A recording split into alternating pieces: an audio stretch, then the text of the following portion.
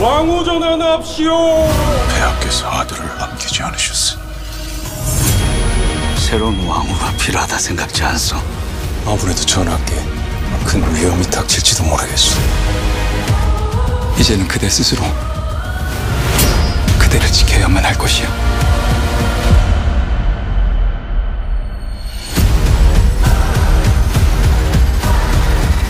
나의 운명에 대해 듣고 싶느니라.